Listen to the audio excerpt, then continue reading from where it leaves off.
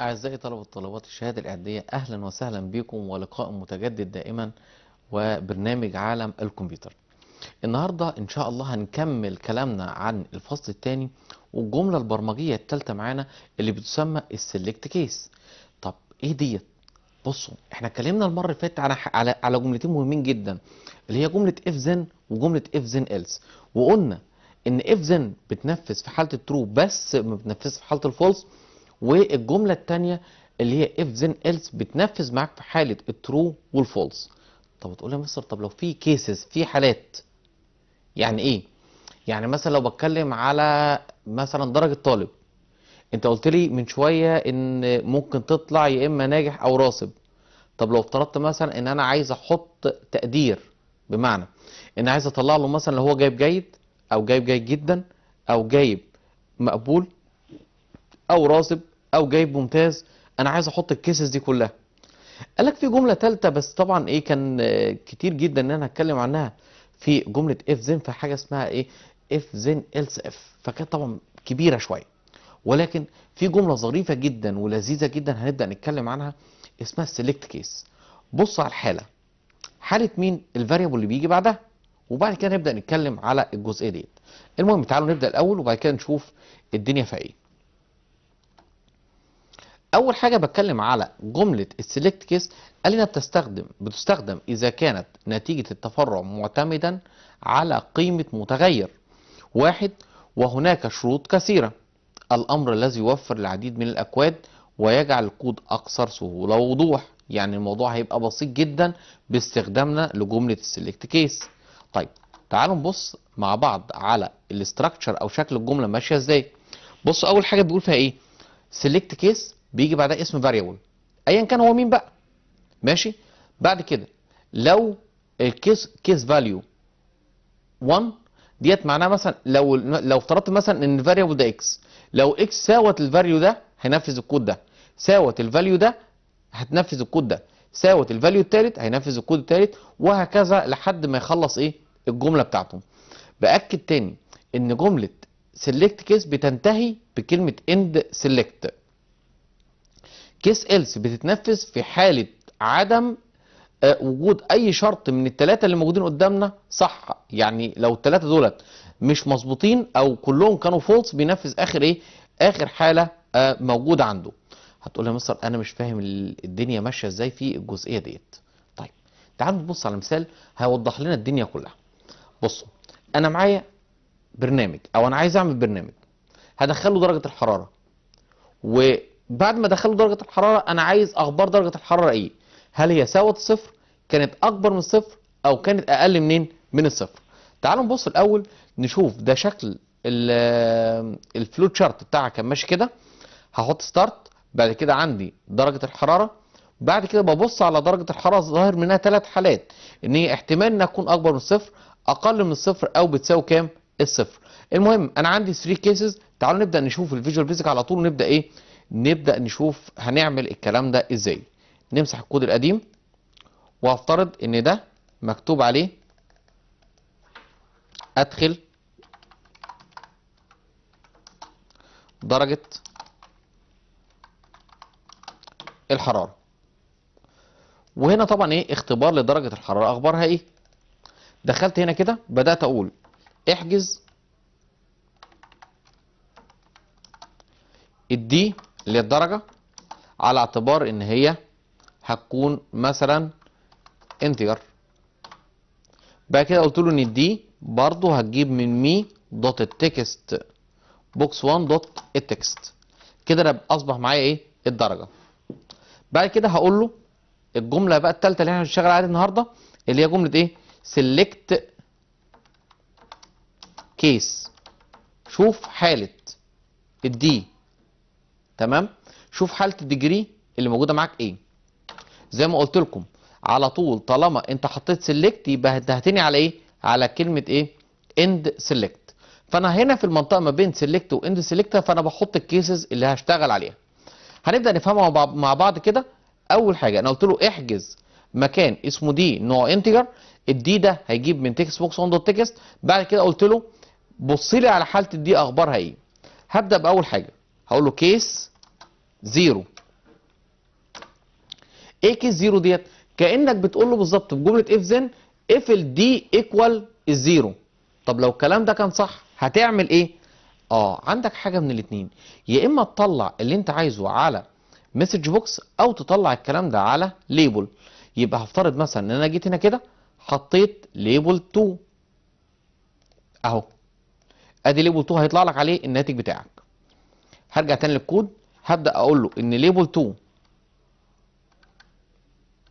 dot ال text اللي هيتحط جوه ال label 2 equal هيساوي هي case zero معناها إيه؟ إن درجة الحراره ساوت صفر. لو الكلام ده صح طلع لي رسالة فيها إن درجة الحرارة بتساوي الصفر. بالشكل ده كده.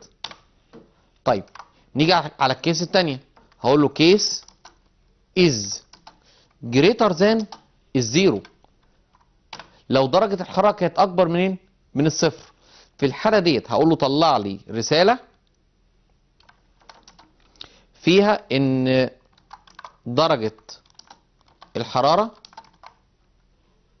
أكبر من الصفر. كده. فاضل لك case واحدة.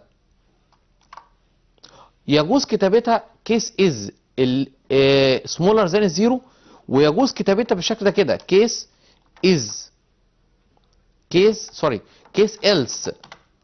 case else وإلا. يعني لو الشرط الأولاني ما تنفذش والشرط الثاني كمان ما تنفذش معناها إن درجة الحرارة مش بصفر ولا هي إيه؟ أكبر من الصفر. يبقى في الحالة ديت هقول له إن label two dot text equal إن درجة الحرارة أقل من الصفر. بالشكل ده كده. يبقى لو جيت شغلت البرنامج بتاعي دلوقتي ب F5 أهو بدأت أكتب خمسة راح مطلع لك إن إيه؟ أهي درجة الحرارة أكبر من الصفر. طيب هديله zero هيقول لك درجة الحرارة أهي برضو بتساوي الصفر هديله negative 2 أو negative 3 قال لك إن ال case الأخيرة طبعا إيه اللي ظهرت قدامنا دلوقتي إن درجة الحرارة فعلا إيه؟ أقل منين؟ من الصفر. أظن الموضوع سهل جدا بالنسبة لإيه؟ لجملة select case اللي قدامنا أهي. بص على ال variable ده. شوف ال cases بتاعته. هل هو بصفر؟ هل هو أكبر من الصفر؟ طب لو لأ يبقى أكيد هكون أقل منين؟ من الصفر في الجزئية اللي موجودة معانا النهارده. طبعا ده الكود اللي موجود قدامنا. آه في حتة بقى ظريفة جدا. الجزء ده أنا حابب إن أنا أتكلم فيه جملة تانية ظاهرة قدامك في الأول وظهر عندك حاجة تانية في الآخر أهي حاجة اسمها try catch سريعا كده هي جملة بستخدمها عشان أتجنب ال- ال- النوع من ال errors اللي هو حاجة اسمها ال run time error اللي هو الخطأ اللي ممكن يحصل لك في وقت التشغيل. يعني مثلا إيه لو شغلت البرنامج كده وبدأت أديله مثلا إيه آه رحت كاتب كلمة كده خمسة كده وسكت وضغطت على كلمة إيه اختبار هيجيبها؟ طبعا هيهنج معاك. البرنامج هنج اهو ما طلعلكش اي ناتج ووقف على عملية التخصيص ان هو في إيه غلط بالنسبة له. ففي الحالة ديت أنا بعمل جملة ظريفة جدا اللي هي جملة try catch اهيت. هقول مثلا إيه try بحطها له كده وبحط بعد ال try الكود اللي أنا شاكك ان يعمل لي مشكلة. من الآخر أنا هروح أحط الكود كله اللي أنا عايزه من اول ال D بتساوي لحد جملة إيه end select هروح حاططها بعد ال try هنا. بعد ال catch هقول له طلع لي رسالة فيها كلمة مثلا يجب أن تقوم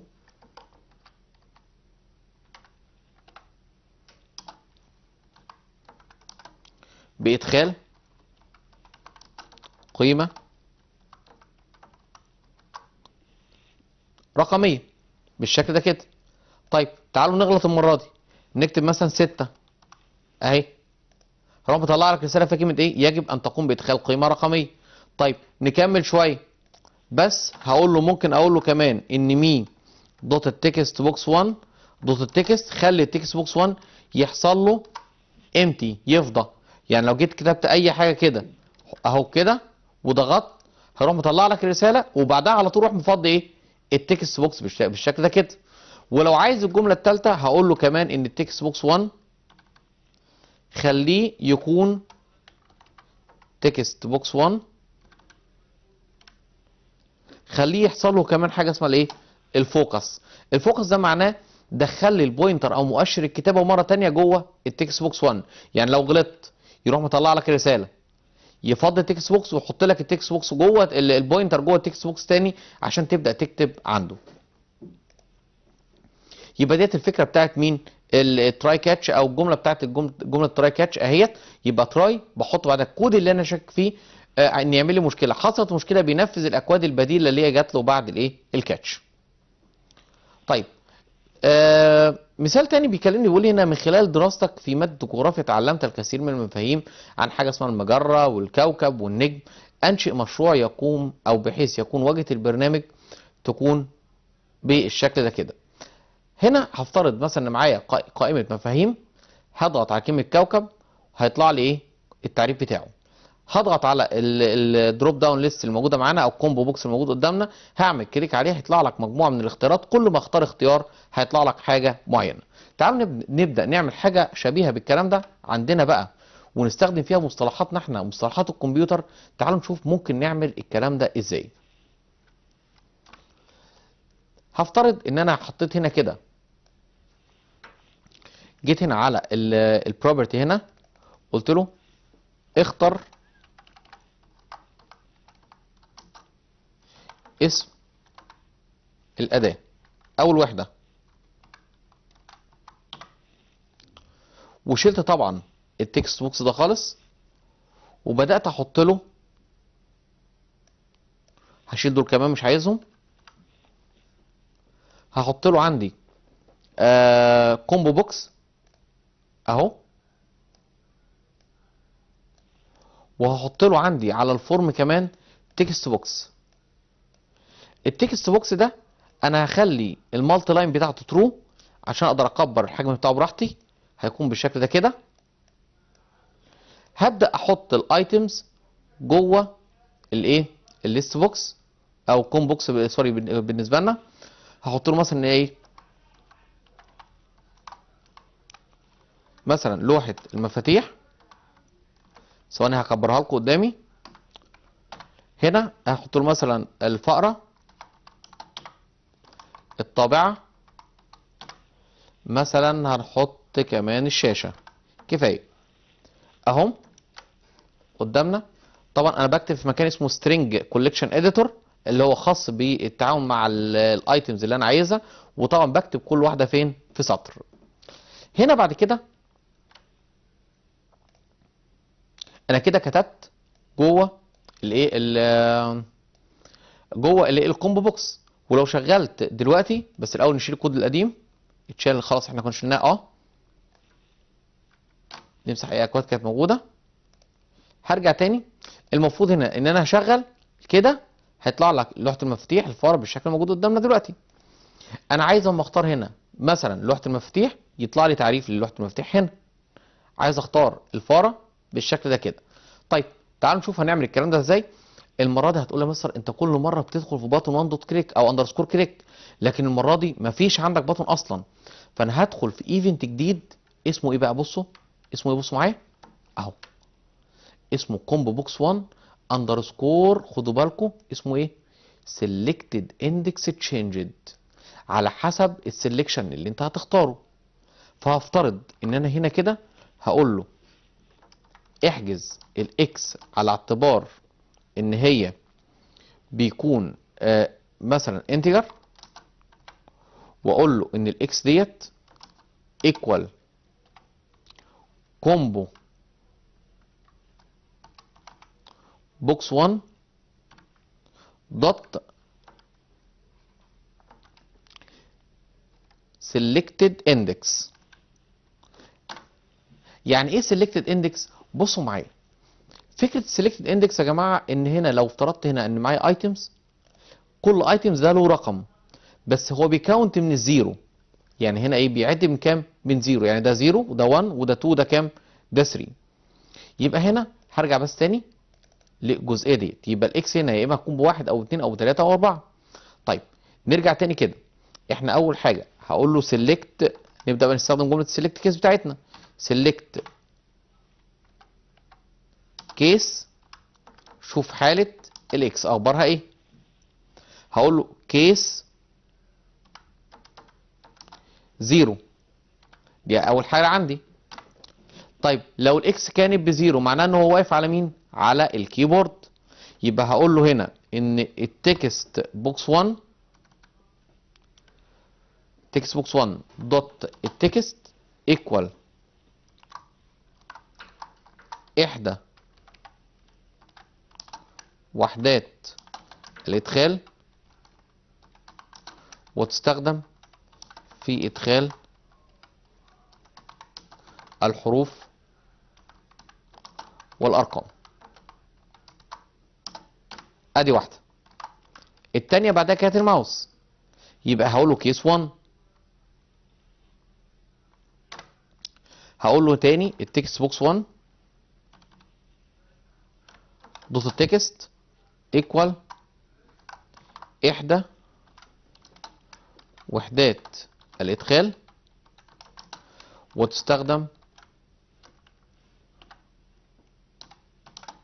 في فتح القائم على الشاشة. هقول كمان case 2 كانت الطابعة. هقول مثلا إيه؟ text box 1 dot ال text بتساوي إحدى وحدات الإخراج وتستخدم في الطباعة من الكمبيوتر آخر case عندي اللي إيه؟ كانت الشاشة. case 3 هتقول مثلا هم كانوا أربعة item ما هي 0 1 2 3 4 هم أربعة item فعلا. يبقى 1 0 1 2 3 يبقى دي 1 2 3 4 هقول له text box 1 ال text بيساوي آه تستخدم أو هقول الأول.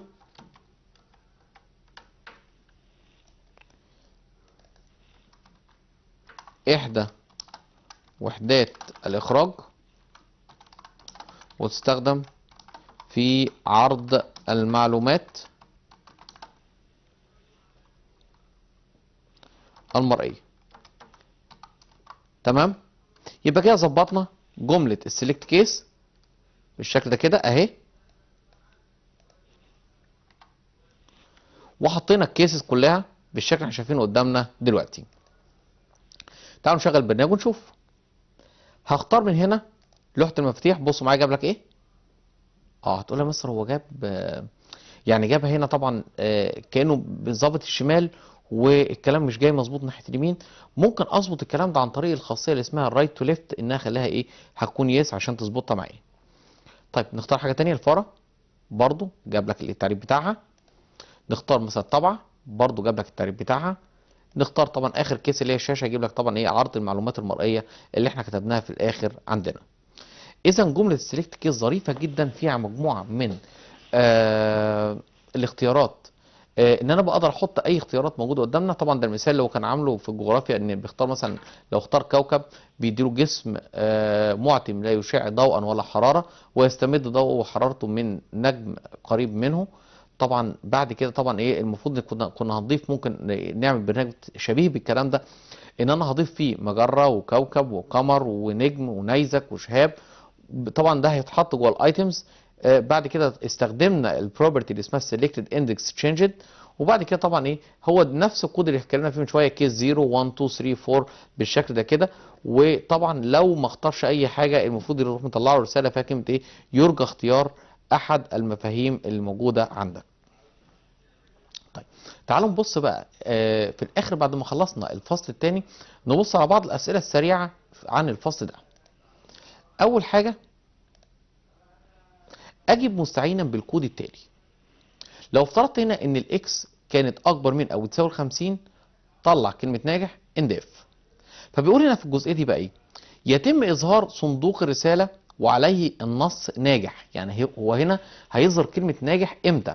هيظهرها عندما تكون قيمة ال x أكبر من أو تساوي ال 50 يعني الآخر ده الشرط اللي انت حاطه له قدامك.